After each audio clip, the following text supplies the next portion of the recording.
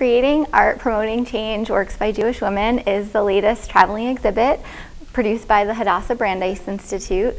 So this features 13 Jewish women artists from around the world and is based on the calendar of the same name.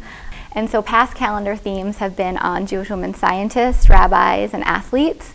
And this past year, we decided to create a calendar on activist artists. So these are women around the world who are using the arts to produce positive social change. I think Tamar Hirschl is someone who really um, embodies pretty much what we're what we were looking for for artists for the whole exhibit.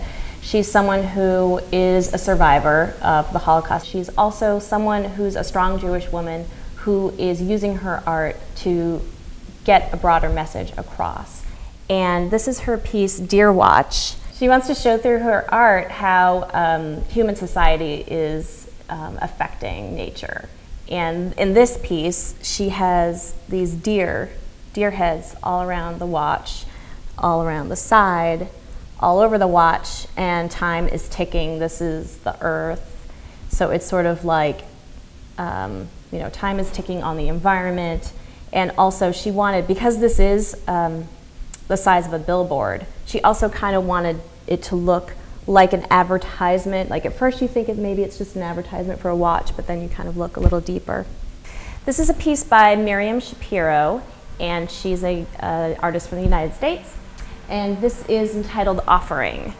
I think it's a beautiful image. I also think um, it speaks to her Jewishness, and um, it's something that I think inspires a lot of hope um, the hands reaching upward with the flowers. I think it's a beautiful image. Social change is inherent in um, Judaism. Tikkun olam means repairing the world. So here was a chance to highlight these women and the way that they're repairing the world is through their art.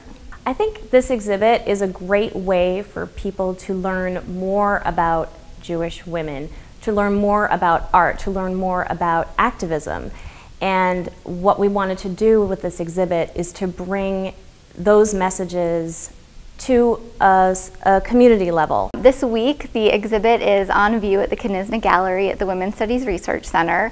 And as you can see, there are six different banner stands, and each measure about seven feet high, and they're completely portable, and we can ship them absolutely anywhere.